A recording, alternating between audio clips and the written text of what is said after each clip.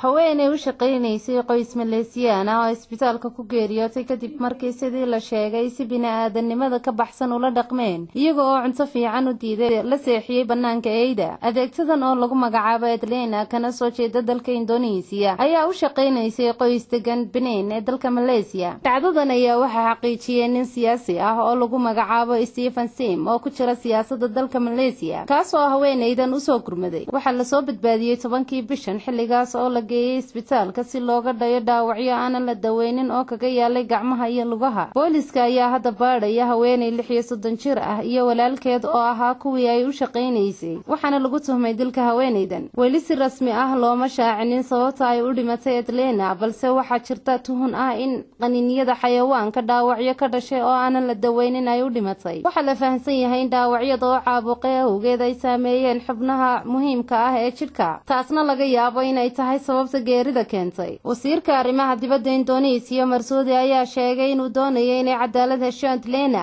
maleesiya ayaa ah dalka ugu badan ee soo dhoofsada adeegtooyinka qaaradda aasiya ilaa iyo laba milyan iyo badh muhaajiriin ah ayaa ka yimi indonesiya oo ka shaqeeya maleesiya soogolootiga kale ayaa waxay ka kala yimaadeen dalalka minimaar filibiin vietnam bangaladesh cambolia srilanka iyo tailan sharciga shaqaalaha maleesiya ee la ansixiye kun sagaal boqol sagaashan iyo shantii oo ahayd inuu difaaco xuquuqda adeeg sheegtooyinka ayaanan u aqoonsanayn inay yihiin shaqaale balse u aqoonsan khaadimado oo keliya ana khayrdoon b c t v argeysa